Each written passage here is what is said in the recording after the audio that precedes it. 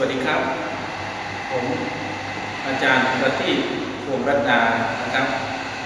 กับผมเป็นอาจารย์ประจำวิทยาลัยเทคนิคดุสิตนะครับ วันนี้กับผมจะได้มาแนะนำสิ่งประดิษฐ์ที่ใช้ประกอบการในการสอน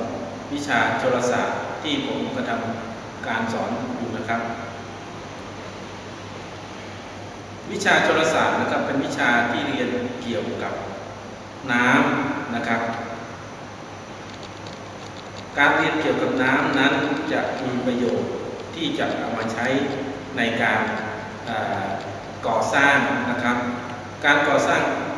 ในส่วนที่เกี่ยวข้องกับน้ำเช่น การสร้างสิ่งปลูกสร้างในน้ำประเภทเขื่อนท่าเทียบเรือ หรือต่อหม้อสะพานที่มีน้ำนะครับอีกส่วนหนึ่งเกี่ยวข้องกับน้ำเช่นการสร้างระบบระบายน้ำ นะครับในอาคาร หรือระบบระบายน้ำฝนตามถนนเป็นต้นนะครับ ก็จะต้องมีการเรียนการสอนเกี่ยวกับโทรศาสตร์ เพื่อที่จะเอาความรู้ไปใช้ในการออกแบบคำนวณโครงสร้างทางน้ำนะครับเพราะฉะนั้นในการเรียนโทรศาสตร์จึงเป็นเรื่องที่ค่อนข้างที่จะเข้าใจได้ยากก็ผมจึงได้สร้างสิ่งประดิษฐ์ขึ้นมา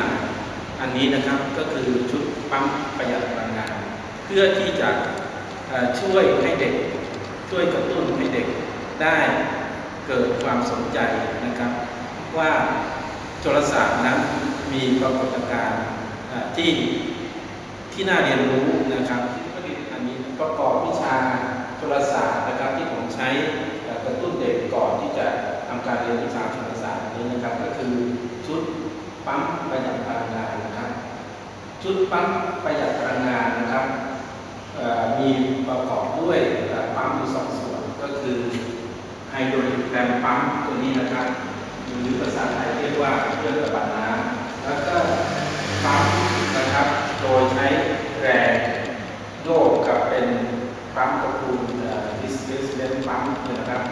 เพราะฉะนั้นในการทำงานของปั๊มประหยัดพลังงานอันนี้นะครับจะเอามา โดยผมจะตั้งคำถามเด็กว่าปั๊มอันนี้นะครับทำงานได้ยังไงโดยที่ไม่ได้ใช้พลังงานจากเครื่องยนต์หรือกระแสไฟฟ้า ปั๊มตัวนี้สามารถที่จะสูบน้ำขึ้นไปที่ระดับความสูง 4 เมตรนะซึ่งสูงกว่าแหล่งน้ำเนี่ยประมาณ 3 เมตรได้นะครับนะครับ ก็จะให้เด็กได้รู้ว่า เหตุใดเราถึงสามารถ สูบน้ำขึ้นไปที่ระดับสูงนั้นได้ แล้วในระหว่างที่ปั๊มทำงานนะครับ ก็จะเกิดเป็นการเสียงดังก็จะให้เด็กนักเรียนหรือนักศึกษาเนี่ยดูว่ามันทำงานยังไง มันจึงได้เกิดมีเสียงดังได้นะครับแล้วก็ให้เด็กคิดนะครับคิดว่าเด็กคิดได้ระยะหนึ่งนะครับผมก็จะเฉลยให้ฟังว่า มันเป็นหลักทางโทรศาสตร์ยังไงปั๊มถึงสามารถที่จะทำงานได้ครับ ครับ หลักการทำงานนะครับของของปั๊มตัวนี้นะครับ ผมจะอธิบายในส่วนของเครื่องระบายน้ำที่จะการปั๊มก่อนครับตัวนี้นะครับ เราก็เป็นสมมติว่าเป็นแหล่งน้ำแหล่งน้ำตัวนี้นะในทางความจริงในทางธรรมชาติอาจจะเป็นน้ำที่ไหลมาตามลำธารนะครับ จากที่สูงลงที่ต่ำเนี่ยนะเราไปกั้นเขื่อนไว้เมื่อเป็นเขื่อนไว้น้ำก็จะเกิดการสะสมขึ้นก็มีระดับน้ำสูงขึ้น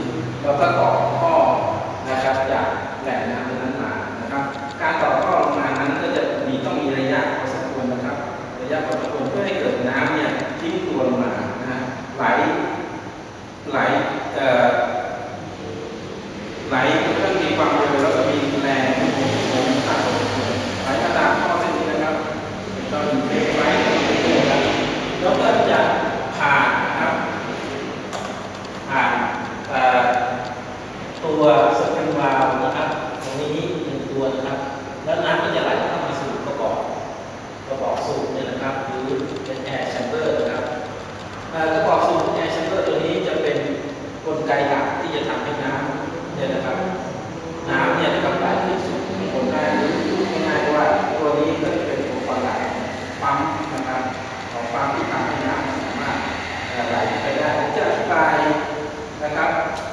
นี้นะครับทำงานยังไงด้วยสลิงตัวนี้นะครับ สลิงฉีดยานะครับเอ่อสลิงฉีดยาตัวนี้นะครับนะครับ ถ้าผมเอาเข็มฉีดยาออกนะครับ แล้วเราเอามือบุดไว้ ในนี้ก็จะเป็นอากาศครับในสลิงนี้จะเป็นอากาศนะครับอากาศนะครับจะมีคุณสมบัติที่ยุบตัวได้เมื่อมีความดันกระทำนะครับตรงกันข้ามกับน้ำนะครับ น้ำจะไม่ยุบตัวความดันแต่อากาศนั้นยุบตัวความดันได้ เมื่อนะครับ มื่อมีการอัดอากาศเข้าไปนะครับ อากาศก็จะยุบตัวเป็นความดันครับจนกระทั่งดันไปจนกระทั่งอากาศยุบตัวเต็มที่แล้วนะครับ ไม่สามารถดันต่อไปได้ ถ้าเราปล่อยมือออกปั๊บนะครับ มันก็จะดันดันลูกสูบที่ถอยกลับไปไอ้ลูกสูบที่ลูกสูบถอยกลับเนี่ยนะครับ มันก็จะช่วย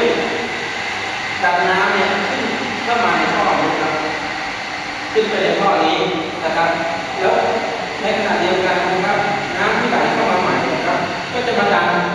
ไปในบ่อสูบอีกเมื่อดันไปจนถึงเต็มที่แล้วนะครับ มันก็การดับอีกนะครับก็จะดันน้ำในต่อนี้